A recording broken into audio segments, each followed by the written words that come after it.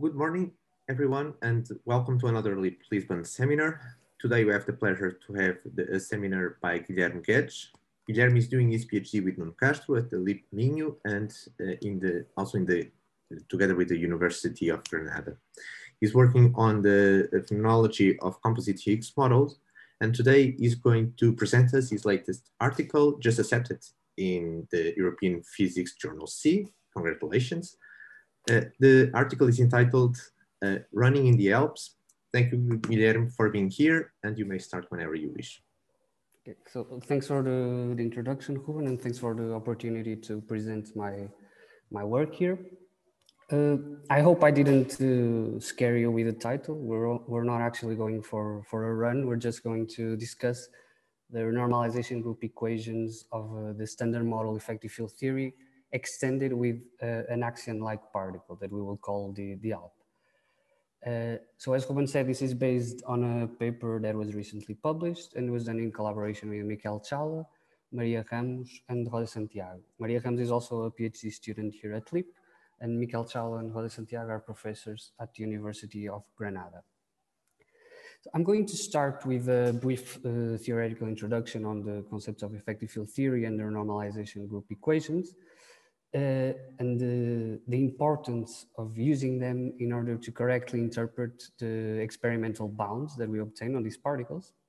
Then I'm going to go in more detail into the calculation of these renormalization group equations. And then at the end, uh, I'll show how using this, uh, uh this running of the couplings can give us uh, much stronger bounds than when we use the, only the direct uh, direct bounds. So let me start with a, a brief introduction to effective field theories. As we know, we have yet to see a, a significant deviation from the, from the standard model. And so it is uh, normal to consider that uh, a scale of new physics would lie at energies much larger than the electroweak scale. So this allows us to think of the standard model as an effective field theory. So the low energy uh, manif manifestation, the low energy limit of a more fundamental UV description, which would have unknown uh, uh, physics. We consider the, the effective field theory, the standard model as an effective field theory because we're going to parameterize the effects of this unknown physics into operators which are only constru constructed with the degrees of freedom of the accessible scale the, uh, by experiments, in this case, the standard model, degrees of freedom. So by doing this, we can study uh, the low energy effects of UV physics without committing to a specific model, uh, a specific UV completion, and only searching for, for deviations uh, from the standard model.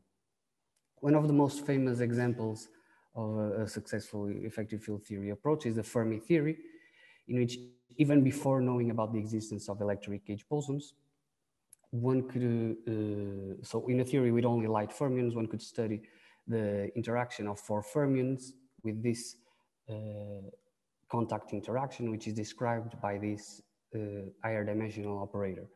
And it was very su successful at describing, for example, the, the muon lifetime. Uh, however, as we went to higher energies, this description eventually breaks down since we are uh, approaching uh, new physics and we understood that this interaction was actually being mediated by a heavy gauge boson, which we were effectively integrating out. To, to fix this coefficient here of this effective operator, we need to perform the matching procedure. That is, at a certain scale, we're going to require that the effective theory reproduces the results of the full theory. And so we fix the result of this coefficient at that uh, particular scale. As I mentioned, this, uh, the, the high energy effects are going to be parameterized into higher dimensional operators that as such uh, will come suppressed by powers of the, the high energy scale, this lambda here.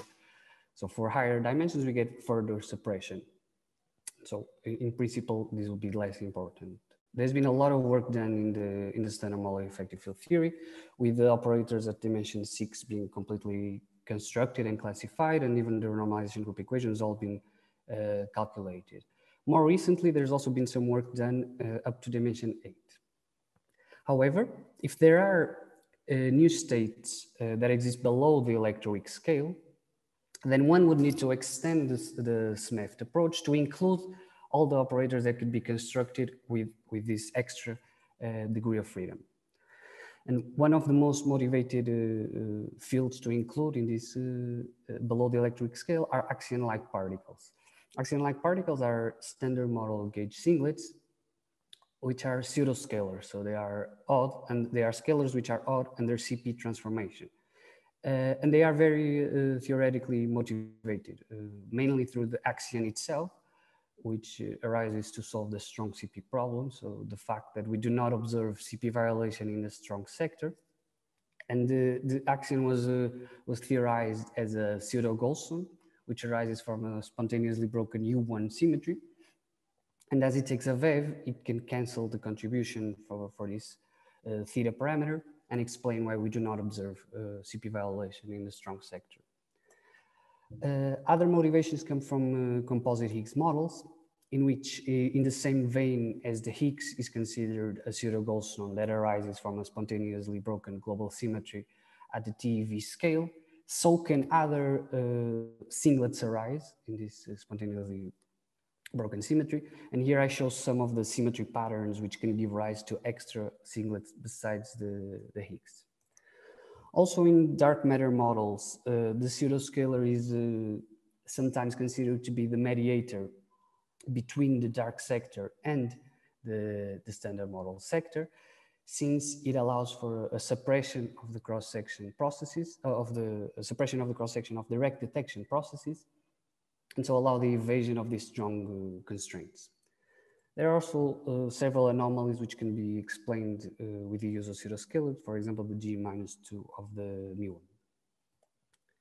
Well, given this uh, wide motivation, the experimental program that searches for these sort of particles searches for a wide range of masses and couplings. And more importantly, these experiments are performed at very different energy scales. Uh, for instance, if we look at this plot for heavier axions, we see that most constraints come from collider physics, for instance, at the LHC with a uh, center of mass energy of 13 TeV. Whereas if we go for lighter axions, the best constraints come from uh, cosmology or astrophysical uh, probes, which can one which will focus on in this uh, in this work will be the the anomalous cooling of red giants, and this will, will takes place at around the keV scale. So you see that since we're working with such different energy scales, it's very important to know how do the couplings of the, of the ALP uh, vary with energy. And also very interestingly, how, they, how do these couplings mix among themselves, which can have interesting phenomenological results, as we will see uh, in, the, in, the, next slide. And this, this, uh, this will be, this, will, this running and mixing will follow the corresponding renormalization group equations, which is exactly what we aim to, to calculate in this work. There's been a lot of work done uh, in the phenomenology, phenomenology of ALPS, and there has also been some partial results calculating the renormalization group equations in these uh, references that I, that I show here. However, to the best of our, of our knowledge, there was not yet a systematic approach to the calculation of these uh, renormalization group equations. And so our, our main goal was to provide the full calculation uh, of the anomalous dimension matrix up to dimension five at one loop, including all couplings at, uh, at dimension five, but also the running of the dimension four couplings of the axion-like particle and the Higgs. We also choose a slightly different basis than what is usually uh, used in the literature. And uh, we'll also talk about the comparison between these two, these two bases and the subtleties uh, in regards to shift symmetry breaking and invariance. And then, given that, uh, as I showed in the previous slide, there are a lot of experiments that also run at energies below the electroweak scale, we will also perform the, the running below the electroweak scale after integrating out the Z, the Higgs, the top, uh, and the W. And we will match this theory uh, to the theory, to this SMEFT with extended with the ALP. So to start uh, our, our, calculations, we need then to construct the, the basis of operators, which we will work with up to dimension five, as I mentioned. Uh, here we do not have to worry about uh, operators constructed purely from the standard model because at dimension five, we only have the Weinberg operator, which is lepton number violating. And so we will neglect it. And we will also assume that all new physics, so all the new operators that we include are CP even. Uh, this choice is uh, radiatively stable uh, and can only, but up to the, the, the CP odd phase in the, in the Yukawas. So we could in principle generate the CP odd operators with this insertion. However, for now we will neglect this and maybe work on it in a, a future paper. So this is the complete uh, green, green basis of operators that we use. Here in the left, we have the non-redundant operators, whereas in the right, the redundant ones, which are related uh, to the previous ones by employing the equations of motion. So the, the, the results that we are interested in will be uh, presented in terms of the non-redundant basis. However, which we show all the intermediate calculations uh, using the redundant ones, since if one wants to expand on our on the work that we did, for example, include other particles uh, below the electroweak scale or extend to higher dimensions, then one needs to have these results so that it doesn't have to recalculate them from the start. So focusing then on the non-redundant basis, we have here three Yukawa-like uh, operators that couple the ALP to the, the Higgs and the fermions and three operators which couple the, the ALP to the gauge bosons. These are all Hermitian operators, we wrote in Hermitian, so that the coefficient that follows them is, uh, is real. So here in, this Yukawa, in the Yukawa-like operators, we'll have real matrices in uh, flavor space, and here real numbers. As I mentioned, these are only CP even. We will also have each of these operators as a CP odd counterpart, which is of the, a very similar uh, structure we follow the, to construct these spaces, we follow the Warsaw uh, basis spirit in the sense that we have very little derivatives. However, in the, in the literature, it's common to use uh, a different basis. This basis here, uh, which uses the, uh, the derivative acting on the ALP. And they use this because, as I mentioned in the theoretical motivation for this particle, it is usually considered to be uh, a pseudo Goldstone. So it comes with an approximate shift symmetry. And so it is common to choose these spaces because this shift symmetry is more explicit with the derivative acting uh, directly on the ALP. So let us compare uh, this, uh, this choice of bases with the choice that we, we did, that we had the Yukawa-like operators. Uh, let me just point out that this uh, psi goes over all uh, chiral fermions and this C psi, this coupling, are Hermitian matrices. So let's look just uh, to start at the lepton sec sector to make it easier to compare both bases. And in the lepton sector, if we look at, this, at these spaces, we see that we'll have two Hermitian matrices, one for the left-handed leptons and one for the right-handed. And so we'll have nine plus nine independent parameters in spaces. In, in, uh, in our basis, do you remember that the Yukawa-like operators came with real uh, real matrices. And so we will have nine parameters from the CP even uh, Yukawa-like operator and another nine, nine coefficients uh, from the CP odd operator that, as I told you, was uh, very similar in structure to the CP even one. So everything seems fine for now. We have 18 parameters in both, in both bases, so they seem to be equivalent. However, when we look uh, at this at this at this uh, at this spaces, we, we immediately see that it only can represent shift symmetric operators by the by definition. Whereas the Yukawa-like operators can represent both shift symmetric and both and shift breaking uh, operators. So it seems that with the same amount of parameters, it can reproduce more uh, operators, and so it seems to be the more minimal one. However, at first sight, it might not be clear how the, how the Yukawa-like operators can respect shift symmetry because they don't have the, the derivative. However, in, the, in our paper, we show that performing the appropriate chiral rotations, we can get rid of these extra terms that comes from the shift. And we show the necessary conditions to ensure that uh, the operator respects uh, shift symmetry. And we show them here, both for the coupling of the CP even operator and for the CP odd one. Um, these here H are um, uh, arbitrary Hermitian matrices. So now that we have this, now that we know how to enforce shift symmetry in our basis, then we can again compare with the, the previous basis. Now in, in equal footing since both are describing only shift symmetric uh, operators. And what we see is that going again to a more, more simple case in the limit of one lepton family, so that this counting is much easier, we see that we cannot have the CP odd uh, coupling because we cannot have the imaginary part of a one by one Hermitian matrix, a matrix. So we will only have one independent parameter, which will come from the CP coefficient.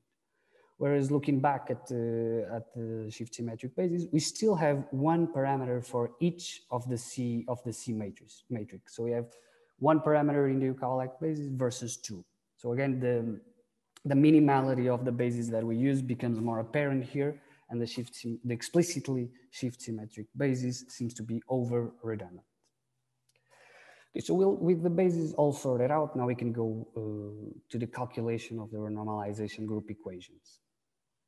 Uh, the renormalization group equations come from the, from the fact that at the loop level, we generate, we can generate uh, divergences with our, with our bare Lagrangian. So here I'm just showing a very simple Lagrangian with a kinetic and the, and the quartic term for the, for the ALP.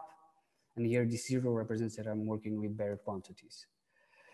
So these uh, infinities that are generated at loop level, we do not observe them. So we want to, want to get only finite uh, observables. And what we do is that we, we rescale these, the fields and the, and the couplings, the bare couplings, with these z, z factors. We'll also include here this mass scale because we're working in dimensional regularization, which uh, turns the dimension of the Lagrangian to 4 minus 2 epsilon. And so we need to include this, this mass scale to, to keep the coefficient dimensionless. Um, so after uh, rescaling the fields and coefficients, we get this, uh, this Lagrangian, which will have the first part, which is very similar to the, to the previous one, and this one, which we will call the counter terms, which have the z, the z factors coming from the rescaling. And we'll calculate these z factors so that they cancel the, the, the divergences that are generated in one loop. So that in at the end, we only get finite uh, observable, which is exactly what we want. So after, to do this, doing this, we also implement a, a, condition, which is the fact that the bare coupling, the coupling that we started off, cannot depend on the mass scale that we introduce. And so this uh, relation, will, this differential equation will give us the renormalization group equation. When we su uh, substitute the the bare coupling, we see that we'll got, we're going to have here dependence on the z. So indeed, we need to calculate the renormalization group equations. We need to calculate the divergences that are generated, uh, in this case, at one loop. And that's exactly what we're going to do. We're going to compute uh, the divergences uh, generated at one loop.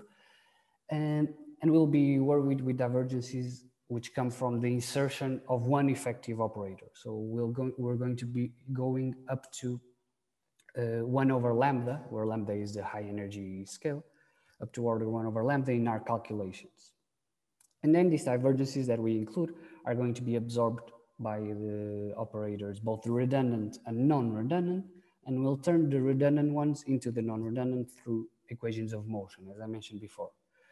So to perform this calculation, we used uh, a plethora of softwares, FeynRules to uh, to write the model and get the Feynman rules, and then FeynArts to generate the diagrams and FormCalc, which automatically calculates the, this divergent part.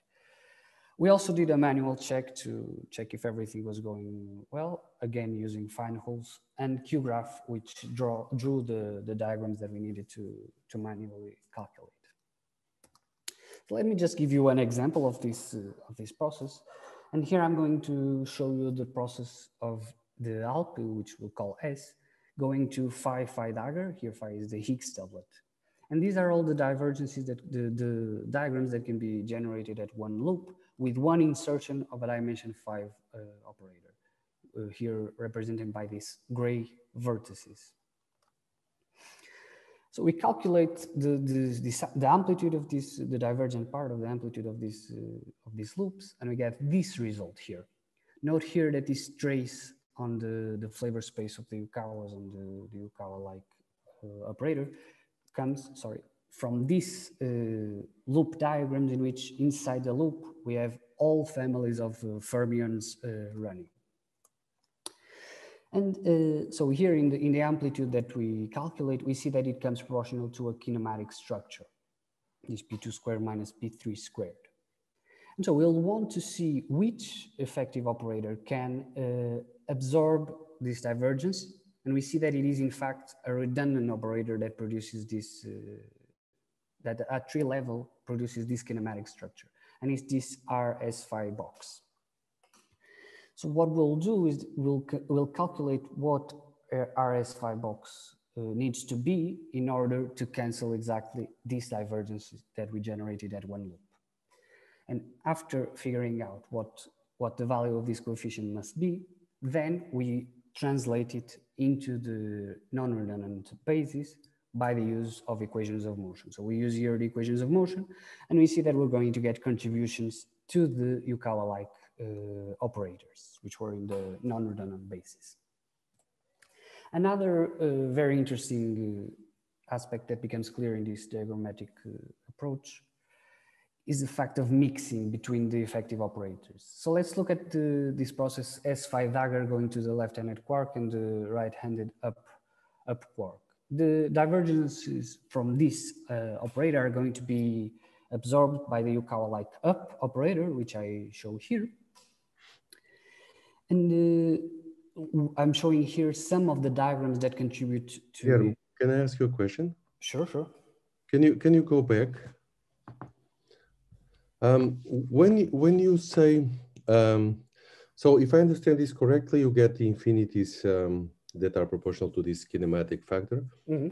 and then you go uh, and pick up the the operator that has the same kinematic factor. But uh, what I did not understand is, uh, do you use it later or is this just, I mean, it would be equivalent just to throw away the infinity. What, what, what do you need this, this uh, operator for? Will you use it later? Uh, so yeah, so we, we want to know exactly what this, uh, because th this R coefficient is the, represents the Z factor that I mentioned before. So they will be important to calculate the, the renormalization group equations. Okay, so this this is the way uh, to to match the the the the z factors that you have to to use for the for the RGEs. Exactly. That it? Okay. Mm -hmm. Thanks. So here you you know I was talking about here the, the mixing. So in this, uh, the, the processes that contribute to this, uh, that are going to be absorbed by this operator, can have diagrams with insertions of other effective operators. So here I show some diagrams in which here we have the insertion of the Yukawa-like down operator, and here as well, and here the insertion of the coupling of the up to gauge bosons. So what this means and the, the consequence at the, the, phenomenological level is that we can start with uh, an effective coupling that is zero. For instance, let us assume that we start with the Yukawa-like up operator being zero, but through uh, running through these divergences that are generated, we can generate this, uh, this coupling uh, given that other couplings are non-zero this will become more clear when we look at, uh, at the phenomenological implications. So after calculating all of this divergence, we get again the, we'll get our, our Lagrangian with the divergent part, which we will write like this. Each operator will come with a, a divergent coefficient, uh, which again, the goal is to cancel the divergences that come from one loop. But this coefficient here, this A prime that I write here, through mixing does not have to be exactly the same, uh, the coupling corresponding to the effective operator. So here this uh, CNM matrix, the off diagonal terms represent mixing between the effective operators. So with this uh, calculated, and now we're ready to actually calculate the renormalization group equations. Here we'll define the beta function in this way. And uh, after applying, uh, uh, we use here a master formula to calculate the, these beta functions, and we get to this result in which after factorizing the, um, the effective couplings, we get this gamma NM matrix, which is the anomalous dimension matrix. The anomalous dimension matrix is constructed with the, the CNM matrix that I showed before, this matrix here. And also it will have uh, contributions from the wave function renormalization of the fields that constitute the, the operator. So basically, if we're looking at, uh, again, the Yukawa-like uh, up operator, we, we, need to include the, the wave, wave function renormalization of each of the external legs of this diagram. And these uh, z factors of the wave function renormalization come from, the, from absorbing the divergences in the kinetic terms of each of these, uh, of these fields. So now we're ready to finally show what the anomalous dimension matrix looks like. And here I'm going to show you the results for diagonal Yukawas and uh, effective uh, couplings, just to make it easier. That's why the Yukawas and these effective couplings come with uh, only one index. Uh, but in the in the paper we show the for a, a, general flavor flavor structure. So let's look at first at the upper part of this matrix, which uh, shows the beta function of the of the Yukawa-like uh, operators. And we see that we have mixing with basically every effective operator. So we have maximum mixing here.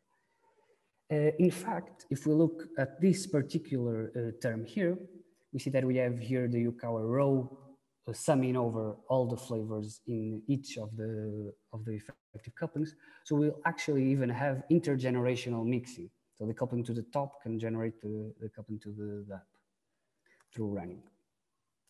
Now, if we look at the lower part, which gives us the beta function of the, the, the couplings of the ALP to gauge bosons, the picture is quite different um, we see a lot of zeros and not, not a lot of mixing or no mixing at all. So the, the, the left-handed part, we could have set to zero a priori through non-renormalization theorems, which tell us that these Yukawa-like operators could never uh, normalize the, the, the coupling to, of ALP to gauge bosons. And looking at the, the right-handed part, we see this diagonal here, which means that there's no mixing and that uh, each coupling runs proportionally only to themselves. So what this means is that if it is zero at some point, then it will always uh, be zero. Actually, in the literature, it's common to write these couplings in this way. So to factorize the corresponding gauge coupling, uh, because this factor that we calculated here comes only from the running of the, of the corresponding gauge coupling. And by factorizing it this way, we can say that the CGG does not run. So it's scale invariant. In our case, we didn't do this. And so we get these terms here in the matrix. So having everything calculated above the electroweak scale and knowing how our couplings uh, vary with energy in this, uh, in this region, we are now ready to go below the electroweak scale and, and calculate the renormalization group equations here. And so to do this, we're going to write the most general possible theory uh, in the left. By left, I mean the low energy effective field theory, which is the standard model after integrating out the W, Z, Higgs, and the top quark. So the most general theory is the left and an axion-like particle. What I mean by most general theory I mean that I'm not worried about what's happening above the electroweak scale. So I do not care what the UV completion above the electroweak scale is, and I'm going to, to construct all possible operators up to dimension five in the left plus ALP. Only then, after calculating the renormalization group equations, will I show the conditions to match at the electroweak scale to the theory that we've been uh, discussing so far. So to the theory of the SMEFT plus the ALP. Since we're going to very low energies, eventually we're going to pass by the, the energies equal to the mass of, uh, of fermions. So we also have to integrate out these fermions as we pass by their energy thresholds. So this is the, the basis that we construct uh, uh, in the left plus the ALP dimension five. And here I'm going to call the C couplings will be couplings that are uh, that come with dimension four operators, whereas A couplings come with dimension five uh, operators. And here in the left, we see that unlike before, we have dimension four operators that couple the ALP to the, the standard model fermions.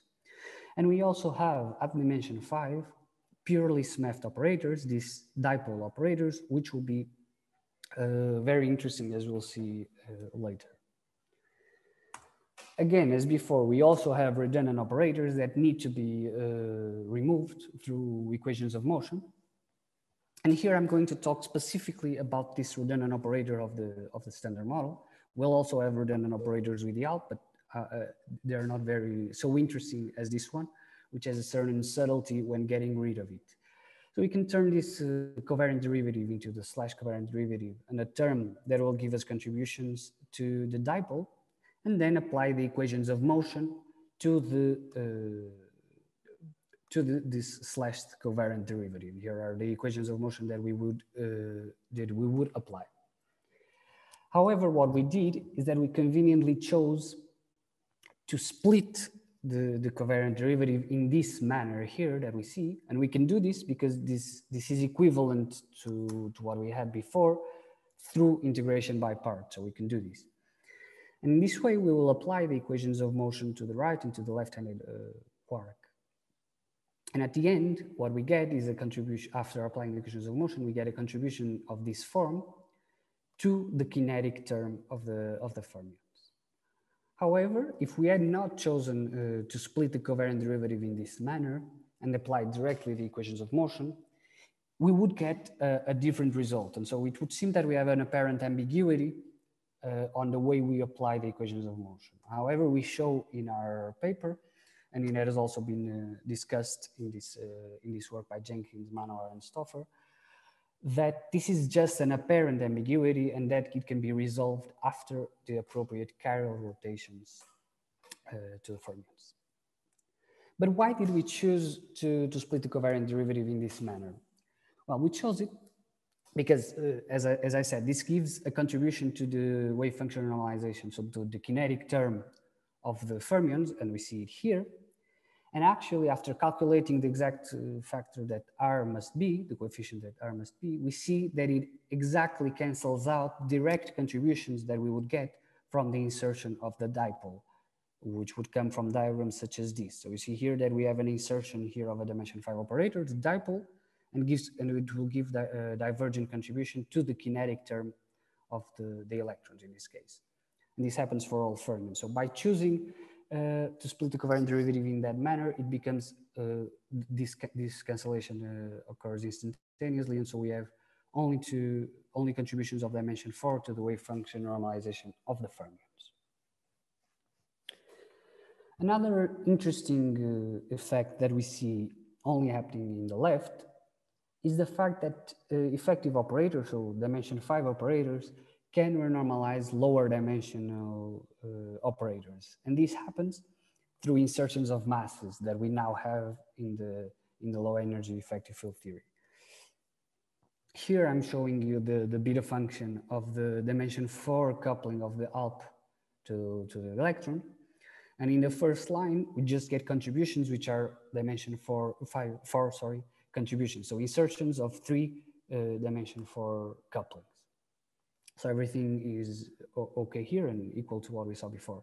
However, in these two lines, we see contributions that come from inserting one dimension five operator, in this case, the, the coupling to the, the gauge bosons, that come obviously with a mass, with a mass insertion. So for instance, this contribution would come from this diagram here, and then we would get contributions of the, the dipole operators that would come from, from diagrams such as these ones here.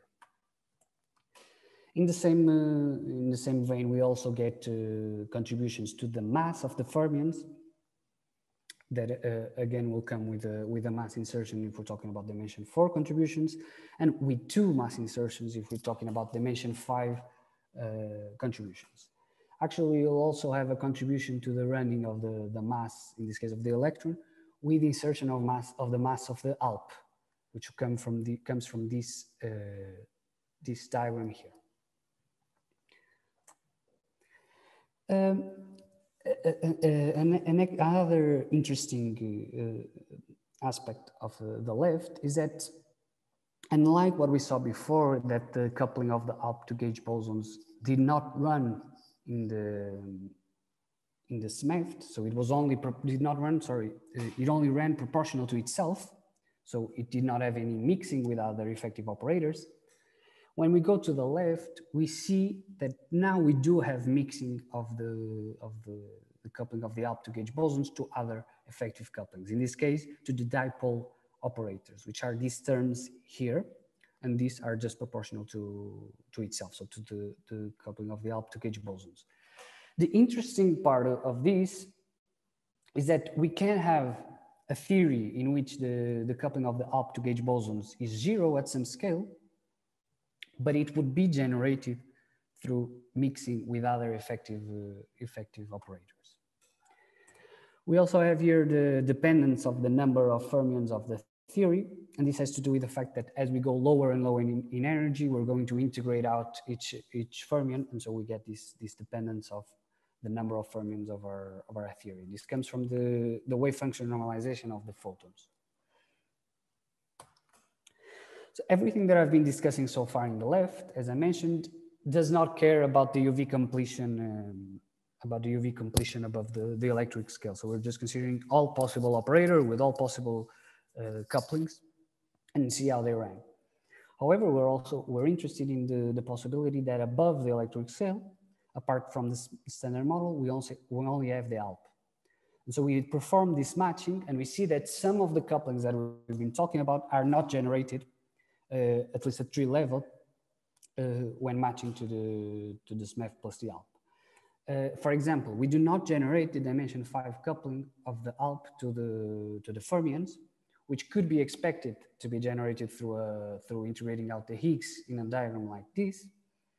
However, we see that this will give us a contribution with, which, which goes with one over, uh, one, one over V squared. And now the VEV is actually the, the high energy scale. And so this is higher order in the low energy power counting. And we're going to neglect uh, this sort of contributions.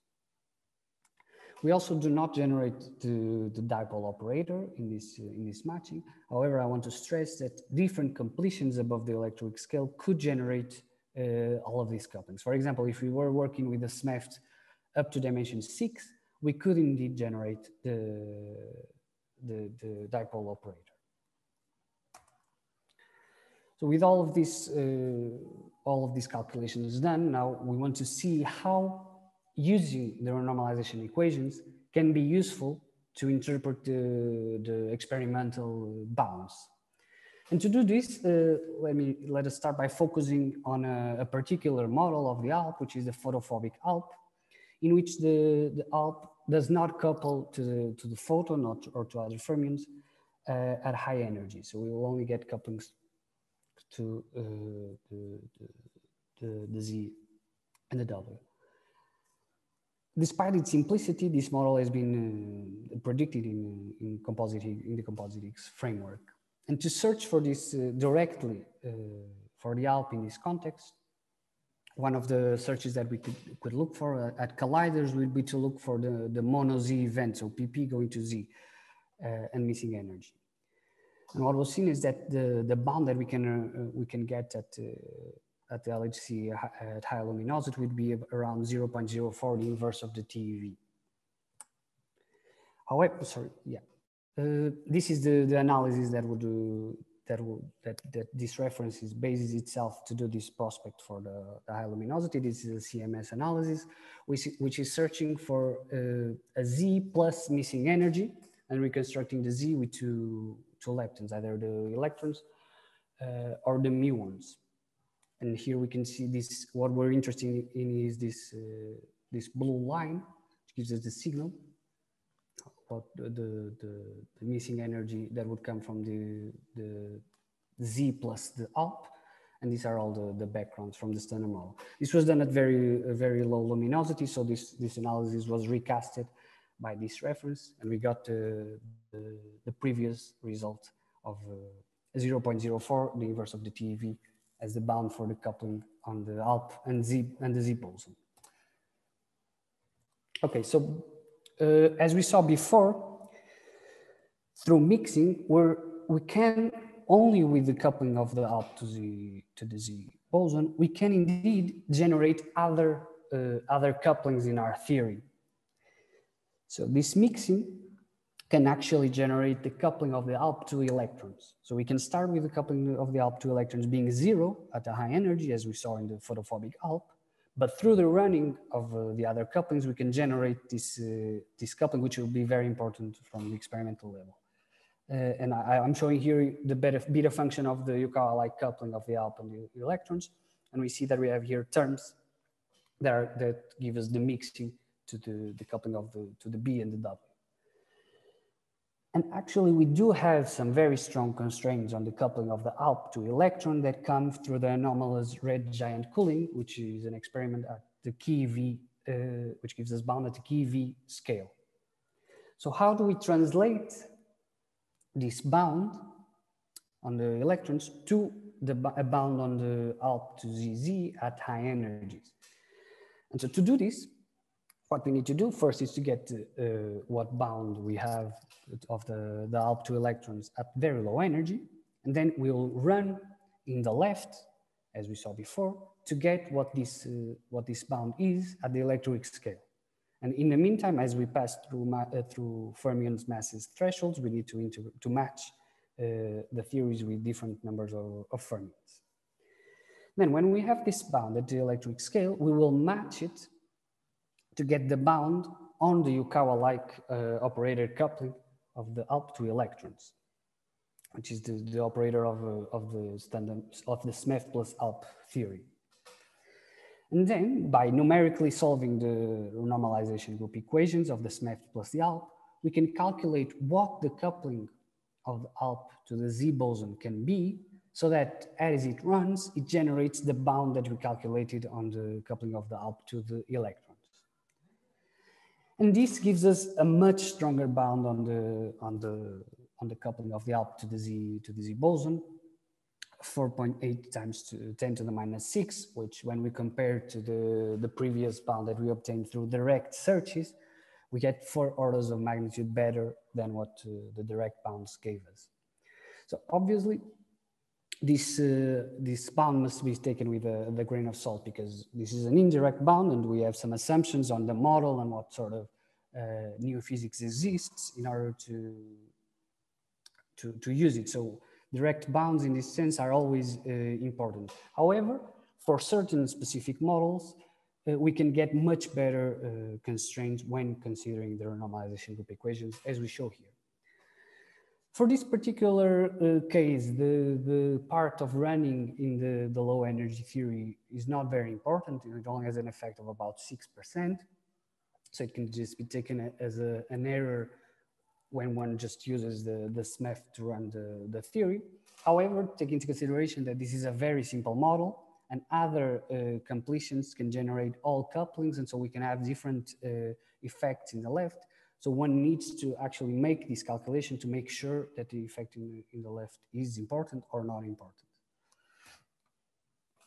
Another interesting uh, uh, model uh, which can be probed using the renormalization group equations is the top philic ALP. So the, the idea of an ALP that only couples to the, the top quark. So here, uh, through this coupling here. Again, we know that th through mixing with the electron uh, coupling, we can also generate this, uh, this coupling, even if it's zero at high energy. And so again, following exactly the same procedure as before, we're going to get a bound that is about 4.3 times to 10 to the minus 6, the inverse of the TeV, through use of these renormalization group equations, applied to the bound on the anomalous cooling of red giants. Uh, th this particular bound is very difficult to probe directly at collider, so one would have to look at PP to TTS. And this is a very challenging final state. So the best bounds that we found were actually also indirect bounds that come from the chromomagnetic moment of the top quark, and which gives us a, a bound of around the inverse of the TeV. So using the renormalization group equations, we could get a bound that is six orders of magnitude uh, better than the, the previous one. So in conclusion, uh, I hope that I've showed you uh, the importance of using the renormalization group equations in order to correctly interpret the experimental bounds, uh, particularly in the case of the ALP in which we have uh, experimental bounds from very different uh, energy scales. And also using this renormalization group equations, we can study mixing effects between the different effective couplings, which can have very interesting uh, uh, phenomenological constraints and allow us to be uh, to constrain much more than just the direct uh, direct bounds. We also looked at, at uh, what happened if we included the running on the LEFT, and we saw that in some in some cases we can this can lead to very interesting new qualitatively different phenomenological results, such as the generation of the coupling to the, of the ALP to gauge bosons.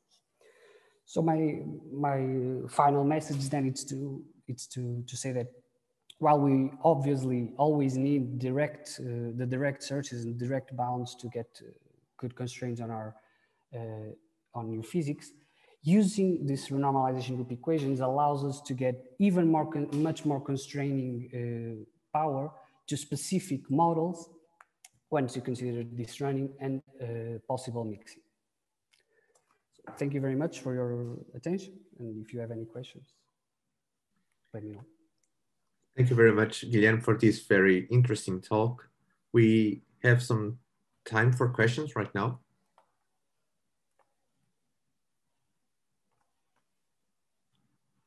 Please raise your hand or just speak up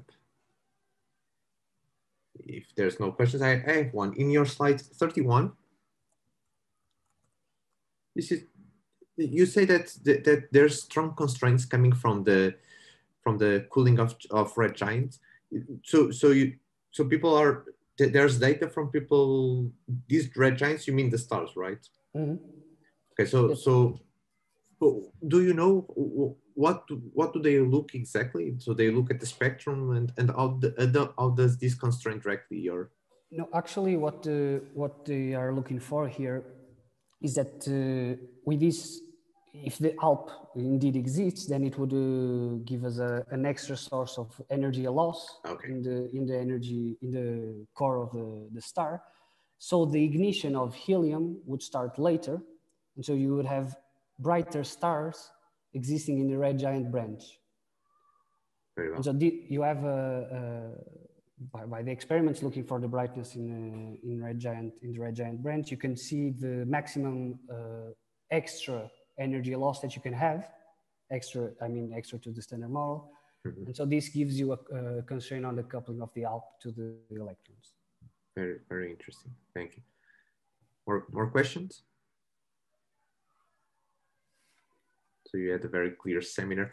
I, I have just one one other curiosity. I think it's on your first slides, uh, uh, the 14, when you talk about the, the manual checks to the mm -hmm. that that one. Yeah. So here I see that that you you use uh, fine FeynArts to to to to to to draw the, the, the diagrams, but then when mm-hmm. you do the manual the manual check, you change to to to QGRAF to QGRAF, right? Yes. Yes. Is there any specific particular reason for that? Uh, no, not really. So the, the, the, the, what happened was that we had not, when we started doing the manual checks, we had not yet used the FeynArts and fine okay. So we were just using QGRAF. but then when we went to the actual computation and uh, we okay. used FeynArts and FormCalc together so to make it more straightforward. Okay, very, very, very nice, very nice. Okay, last chance. Questions? Okay, if not, thank you, Guilherme, for this technical but very interesting seminar. Uh, thank you all for being here and uh, see you next week. Bye. Thank you.